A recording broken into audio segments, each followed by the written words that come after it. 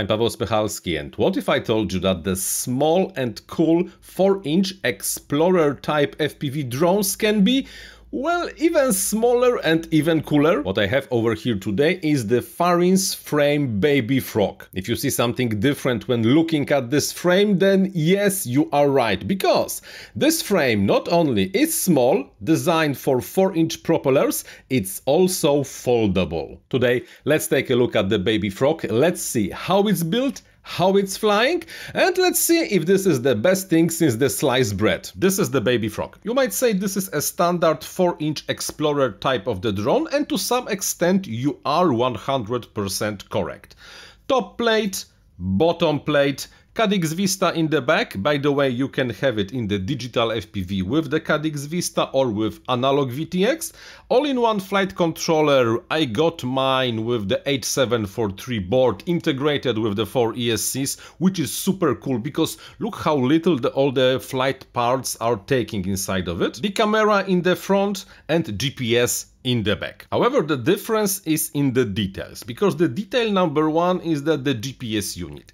This is not a super cheap BN180, this is a good quality Matek M8Q5883. You will get and you will hold the GPS fix with this thing. Camera mount is a nicely printed TPU part, so camera will not break when you will hit something. Motors are decent size Brother Hobby 4 1404 and like I mentioned in the beginning the quad actually holds. When you move the arms it folds like that, like that and like that.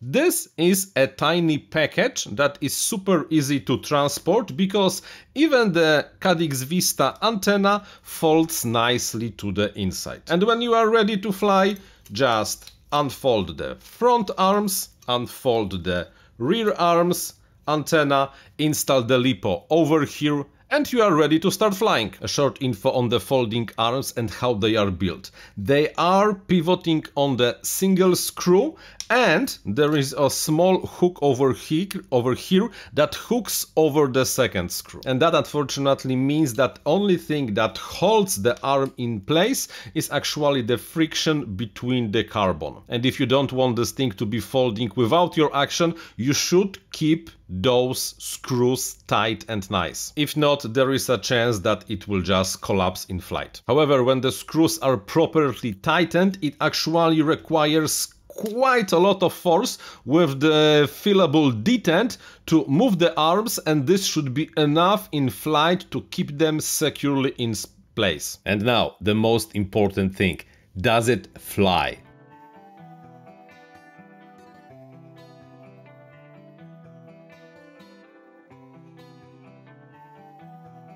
And the short answer is yes, it flies well. My baby frog came flashed with the Betaflight 4.2. I, however, installed the Betaflight 4.3 before taking it into the air. And after spending some time in the air with this thing, I do have to say that yes, I like it. Bear in mind, it is not racing or freestyle quad. It's not built as one, so we cannot truly expect that it will behave as a racing or a freestyle quad. Yes, you can do rolls, flips and power loops with this thing. However, the main purpose of the Baby Frog is to go somewhere slightly further than you would go with your racing or a freestyle machine. And because it's equipped with the good GPS module, not the cheapest crap out there, but the really good Matek M8Q, it has the reliable GPS capabilities. It should get fixed no problem, it should hold the fix no problem, and when you will be slider further away and there will be some kind of the trouble,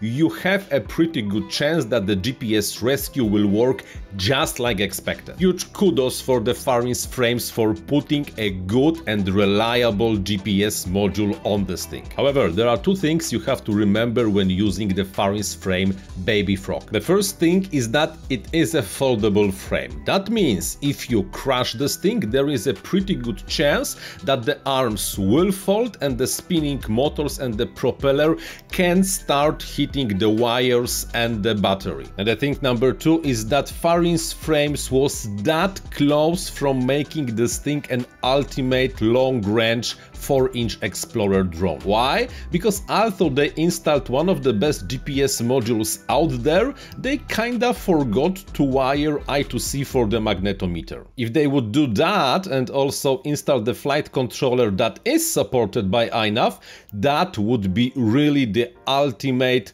4-inch Explorer type of the drone. Without that, it's only very good, not perfect.